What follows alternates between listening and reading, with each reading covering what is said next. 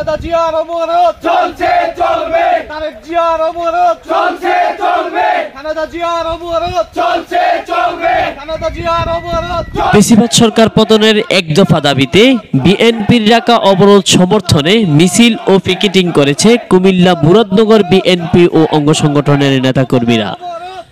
Comilla মুরাদনগরে BNP নেতাকর্মীদের বাড়ি বাড়ি গিয়ে পুলিশের তল্লাশি ও গ্রেপ্তার চলমান থাকলেও কেন্দ্র ঘোষিত সকল কর্মসূচি পালন করছে তারা।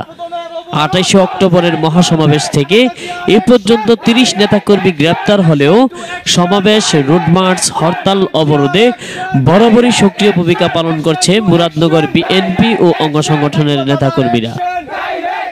পুলিশের সাথে দাওয়া পাল্টা দেওয়ার মধ্য দিয়ে আজও ঢাকা, চট্টগ্রাম মহাসড়ক ইলিয়াটগঞ্জ টু মুরাদনগর ও হোমনা মুরাদনগর সড়কে মিছিল ও পিকেটিং করেছে মুরাদনগর বিএনপি দেশনেত্রী বেগম খালেদা জিয়া, তারেক রহমান ও কাজী শাহ মুফাজ্জল হোসেন কাইকোবাদের ছবি সম্বলিত ব্যানারে মিছিল ও পিকেটিং করে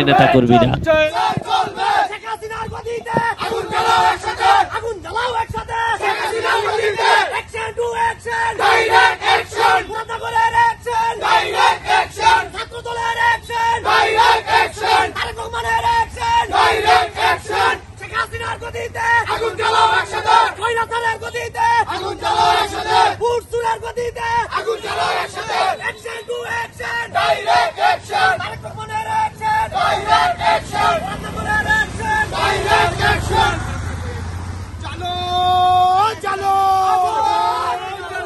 ইয়াসিনের গদিতে আগুন জ্বালাও একসাথে। আগুন জ্বালো একসাথে।